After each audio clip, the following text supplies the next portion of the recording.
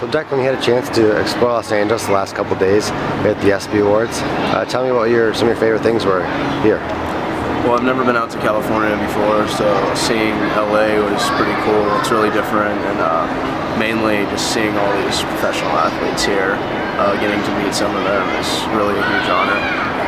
Now you got to take your brother to a couple of these events. I know he played a little basketball against some guys. Uh, what was it like for him to, to be able to here with you? Well, I mean, he's really excited. He's a big sports fan, so he's happy to come along and uh, meet these guys. Like you said, he played basketball with Richard Sherman the other day, so that was pretty cool for him. And lastly, uh, last night the your name goes up as the best male athlete with a disability winner. Uh, what did that mean to you, and who are some of the people you want to thank for that?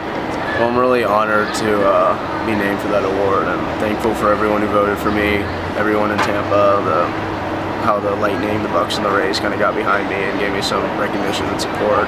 Really means a lot. And uh, also to be in the same category or winning the same award as Steve Cash did uh, four years ago after his performance in Vancouver is really special. Great, thanks.